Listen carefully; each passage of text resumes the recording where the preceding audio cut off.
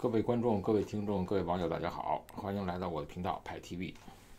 呃，今天是纽约时间六月十四号，今天是星期天。那我们知道啊，在住家如果你开冷气的话，会不会散播病毒呢？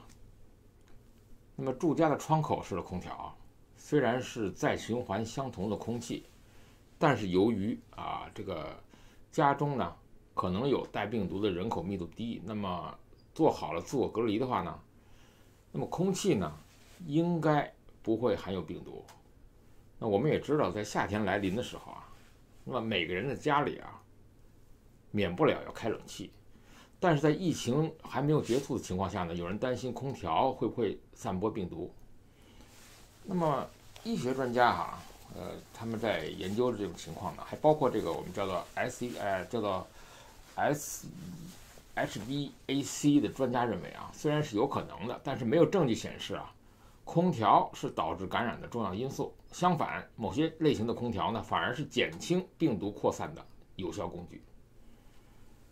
宾州州立大学的工程学教授啊，在美国取热制冷和空调工程师学会研究员叫做巴菲列夫，他解释说啊，如果你室内的通风不良啊，空气中残留的悬浮颗粒污染物会变得越来越浓密，那么一旦剂量足够大，就足以构成威胁了。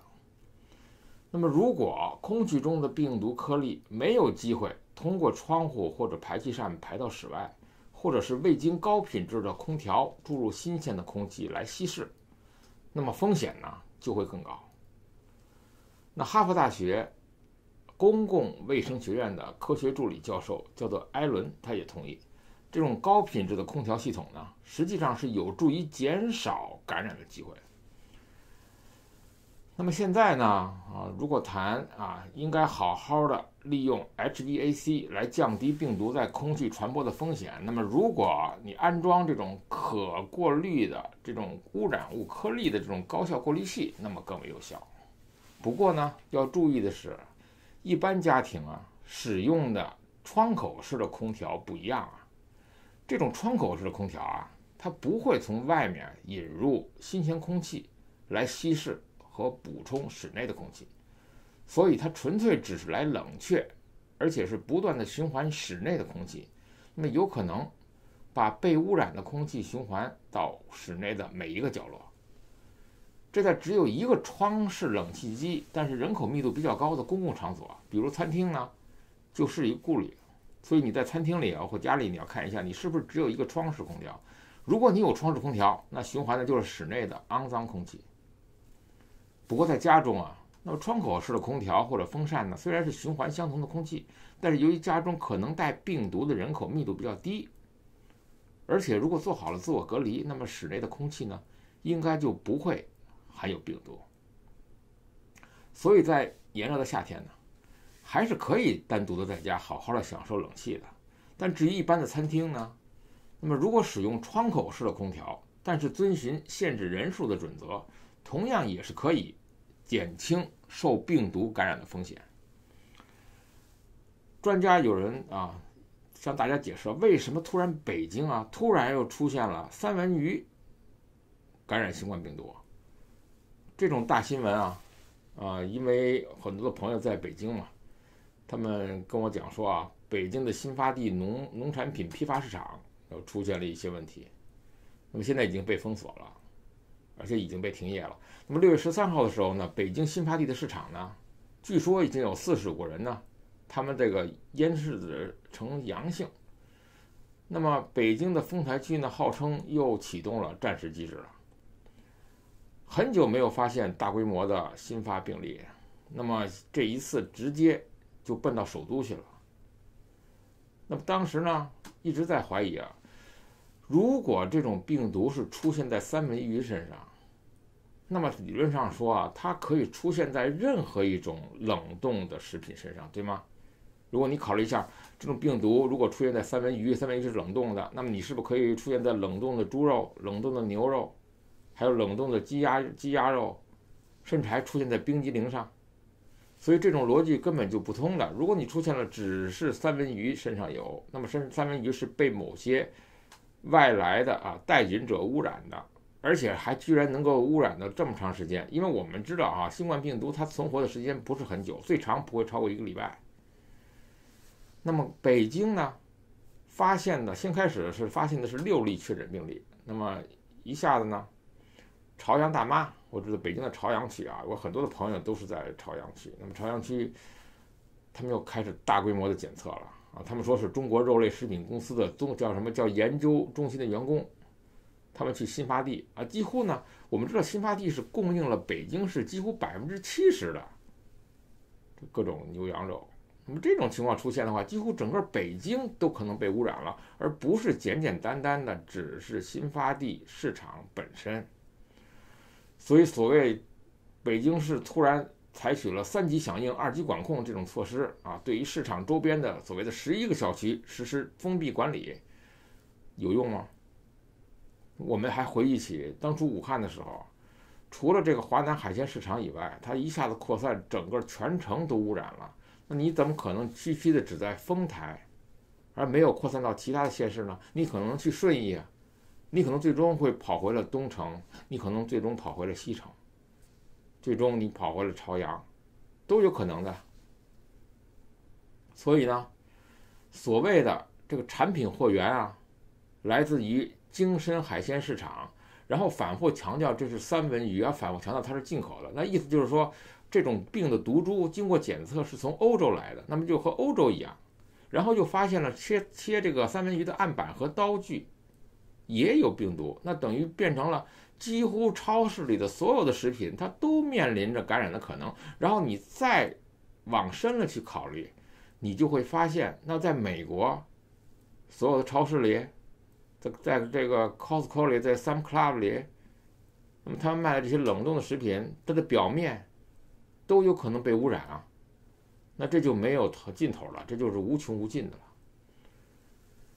科学家说，三文鱼啊和海鲜呢，不是新冠病毒的宿主。它不会感染病毒，那么体内也不会潜伏新冠病毒，但是它的表面可能会因为环境而存在病毒。那么很多的病毒学和流行病学专家也有这种观点，他们认为啊，如果三文鱼样本的真是阳性，那么被污染的可能性啊，比从它自己的体内带来的大。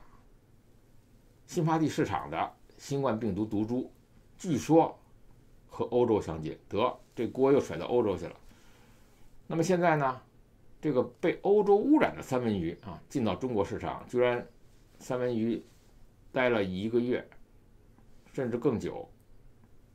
那么居然病毒还是没有死。解释的原因是什么呢？中国的科学家解释说，有些病毒在冷冻状态下可以长期存活。那么如果是水源污染的水产品，就是说这个产品本身它生活在就是病毒的水源里。就可能会爆发。他们举例子是甲肝。那么，如果上述的假设成立的话，那么鱼就是被新冠病毒污染了。那么它本身也携带了病毒，那同时呢，它又不是宿主。所以，根据一般的认知来说，都是很矛盾的。那么鱼是不会感染冠状病毒的。那么有可能呢，是进口地区的操作人员身上带毒，得又甩锅到进口人员。操作人员上，那么你可以甩锅到进口的人员的操作人员，可以甩锅到进口的器皿，呃，切三文鱼的案板，那这样几乎所有超市都合格呀。你看，可以看 cheese，你可以看肉，可以看冷冻的各种东西，甚至牛奶，甚至鸡蛋都有可能。那么根据中国的这个解释啊，呃，在这个操作过程中啊，他们认为有可能病毒被海鲜市场的操作人员呼吸进去以后。感染了病毒，那么又很多的假设，这一下子假设出现了十几种，有可能是操作人员，有可能是国外进来的啊，有可能是呃进口的，但是这个锅甩到国家检疫部门的时候呢，那么中国海关就说我们是合法检疫的，三文鱼是合法入口的，唯一的区别是啊，没有这一项检查任何进口食品表面有没有新冠病毒。那么未来很可能会增加这个检测项目。那么值得注意的是啊，新发地海鲜市场的疫情，它居然出现了跨地区的扩散。从六月十二号零点到二十四时，辽宁省新增加了无症状感染者两人，均为北京市十二号报告的确诊病例密切接触者。就是有些人从辽宁接触了北京的人，又跑回辽宁，得辽宁又染上了。那么这种情况出现了很大的问题。那么当然了，呃，为了安抚民心，让政府出现了防控措施。那么第一呢，它是暂时关停市场，针对新发地市场人流量大、人口结构复杂、疫情扩散风险大的特点，他们紧急在六月十三号三点暂时关停市场，调查市场。关相关人员啊进行环境的消杀。第二是扩大流调的范围。那么市区两级急住疾控中心围绕着确诊病例的活动轨迹，扩大调查范围。那么我也打电话给北京问一下相关的情况。那么普遍的小区啊都开始重新进行二次检测啊，当然多数还是阴性了，这点应该放心。但是这种情况紧急出现，属于这个二到底是属于二次回潮呢，还是属于新型？这个这个案例呢，还是啊值得探讨。但是与此同时，这种突发性的这个情况发生呢，使采集大量的这个肉类和肉制品，那么加工台、清洗池、门把手、垃圾桶都要进行足够的消毒。那么现在又出现了一些啊叫做人人测温啊、车车消毒的情况。那么。根据你要佩戴口罩啊，进行有序的限流，保障首都市的啊果蔬的供应。那么事情缘起呢，是病毒溯源工作呢，还是在进行调查？当然了，在北京市疾病预防控制中心这个副主任叫做庞星火，他在六月十三号的时候进行了一些呃这个检查的时候，他表表示说，根据流行病学的调查显示。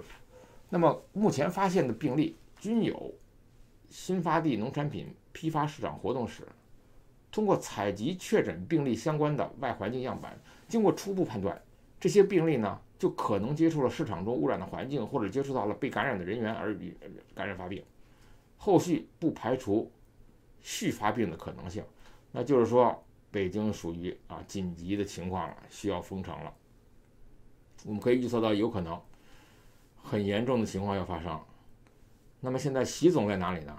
现在我们知道中国南方在发洪水，啊，中国的这个北京又出现了疫情，那么习总呢刚刚好在西北，那么现在呢，我们知道整个的北京啊紧张起来了，那么东北呢也紧张起来了，那么现在让全世界在向中国抄作业学什么东西呢？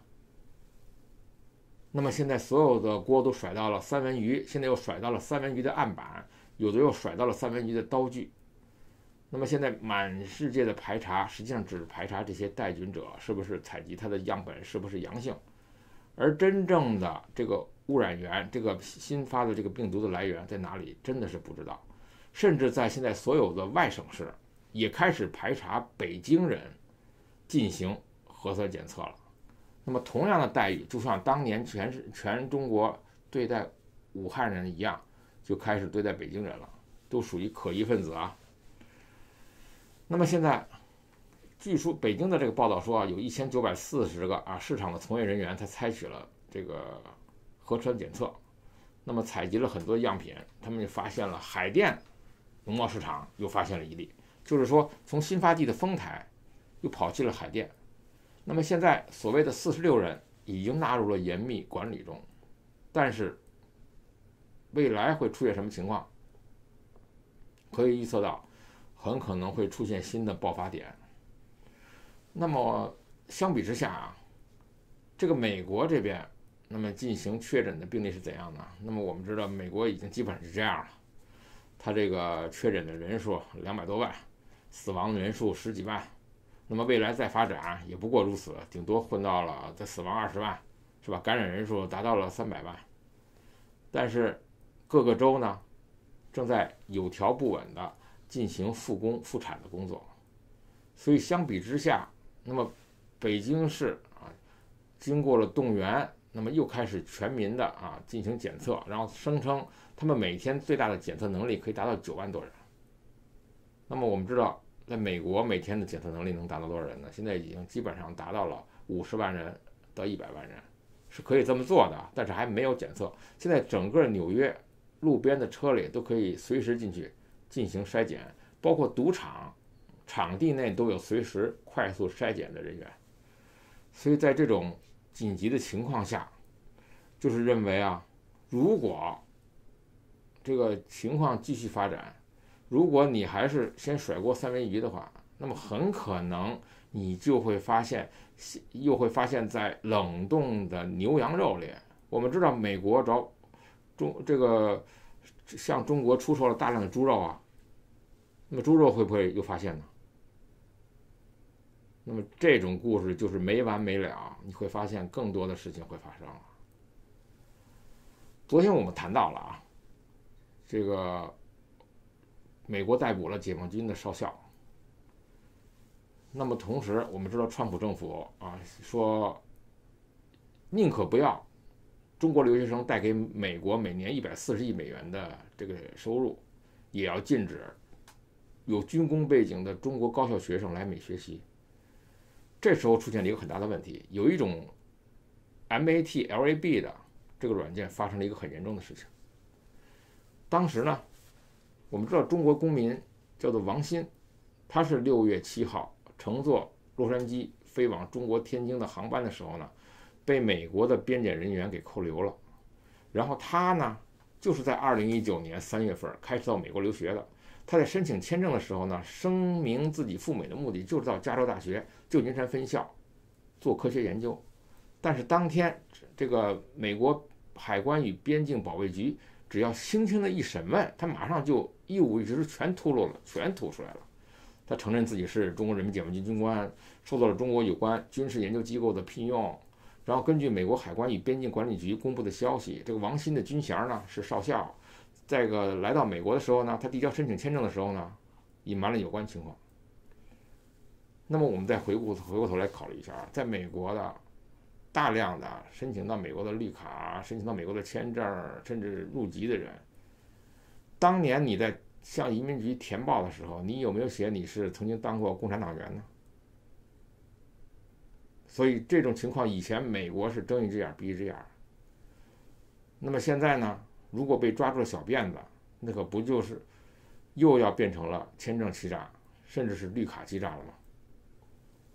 所以现在是真的很麻烦。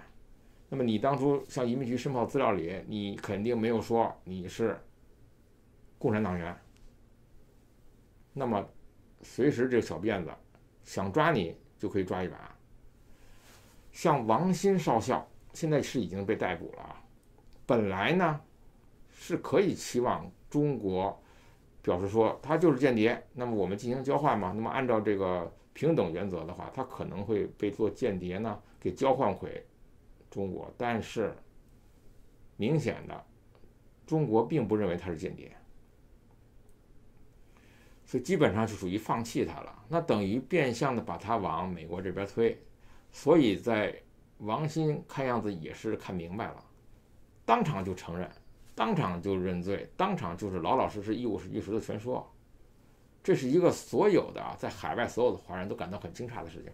从没有一个人啊，没有经过呃审问是吧？严格的拷问，甚至还没有律师在场的情况下，把什么都说了，甚至还告诉，呃，我已经删掉了微信六个月的记录。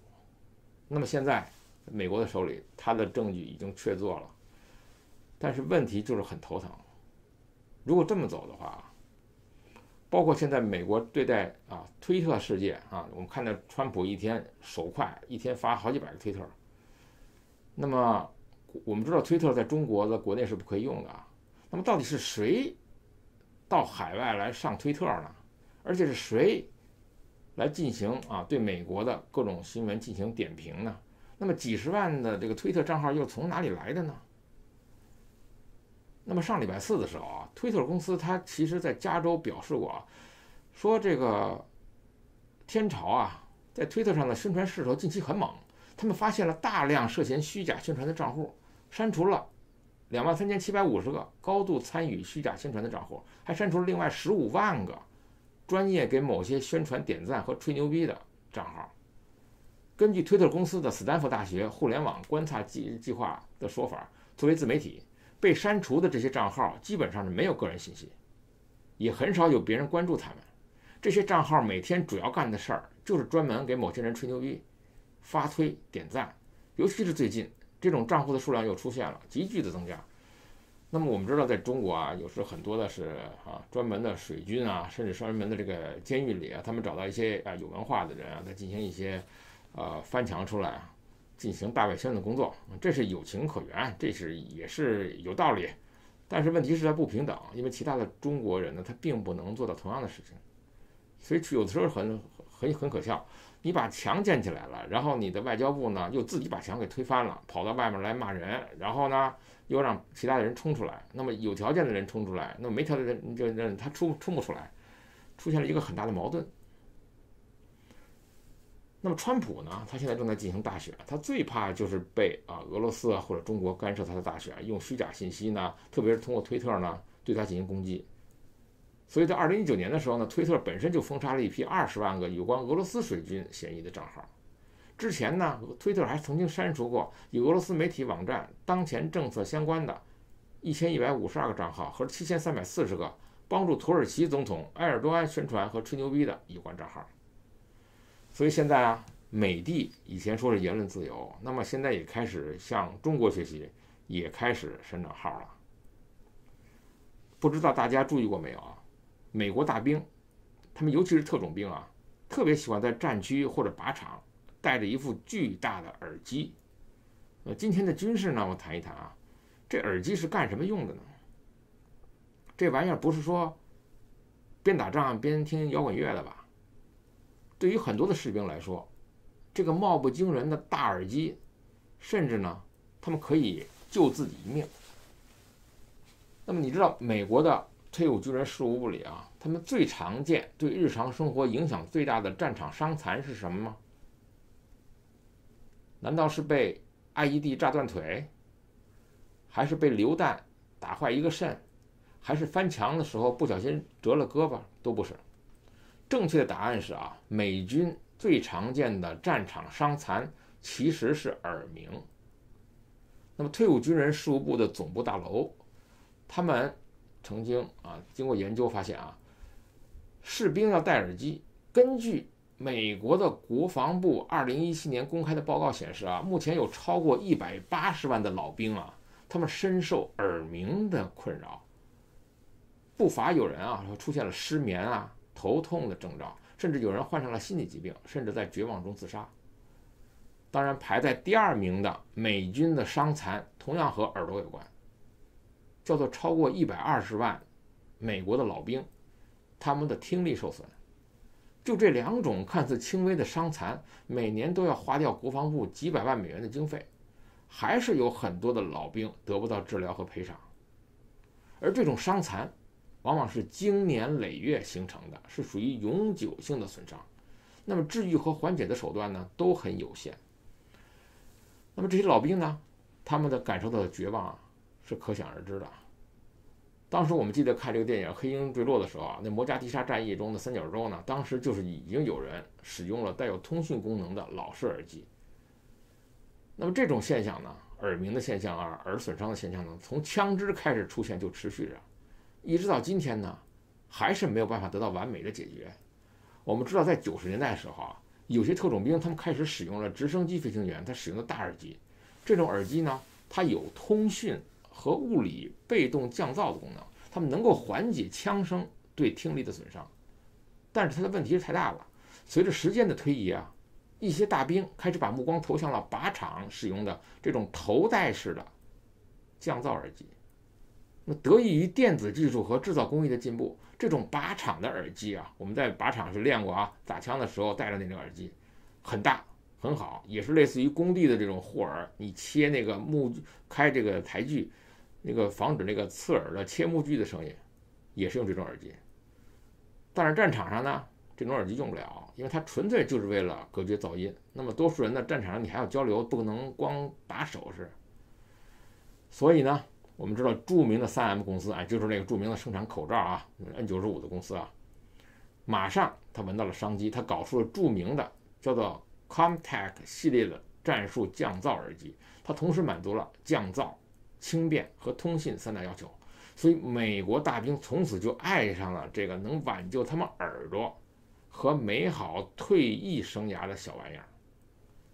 所谓的降噪啊，给大家讲个知识啊，降噪它不仅仅是降低噪音，降噪对于现代的人来说不是什么稀罕玩意儿。你把什么东西塞到耳朵里，你就降噪了。当时的索尼和博士的头戴式降噪耳机，它卖的满世界都是。但是千万不要以为平时拿来听音乐的降噪耳机和针对军队用户开发的降噪耳机是一个东西。事实上，这两者之间存在着巨大的不同。那么，普通的降噪耳机呢？它纯粹就是为了降噪，往往会采用降噪效果更好的叫做主动降噪技术。但对于军人来说，这种技术有一个巨大的问题，那就是它会把环境音一起抹除。所以在战场上，你戴着主动降噪的耳机，结果呢，敌人摸到你屁股后面了，你还什么都听不到，那不就是要出大事情了吗？所以，这种所谓的。战术降噪耳机呢，就是往往呢，它是用电子被动降噪的技术来主动降低一些过高的噪音，同时呢，还把周围的人声和环境音增强到一个易于识别，但又不会损伤听力的水准，这是高科技啊。所以戴这种耳机呢，不仅不会妨害听力，那么士兵的听力甚至还可以得到强化。这种技术呢，就叫做拾音。减拾的时候，十到，这种耳机也被称为石英降噪耳机。那是不是美军那么富裕，能不能达到人手一个呢？在一些曝光率较高的特种部队里，经常可以看到特种兵人手一个 3M 公司的 Comtech 第三、第四代战术耳机。很多人都以为美国大兵人手一个，其实不是了。你再怎么富裕，也是有问题。单一的啊，我们知道一副这种 Comtag 的第三代战术耳机的价格就是三百五十五美元，还不包括头盔、导轨、转接，还有转接扣，还有硅胶替换软垫等配件。所以，即使财大气粗的美军，难道每个人都有吗？我们知道特种部队啊，往往每个人都会携带那么一个一台单兵电台，而指挥官和通讯人员呢，甚至会携带两到三个电台。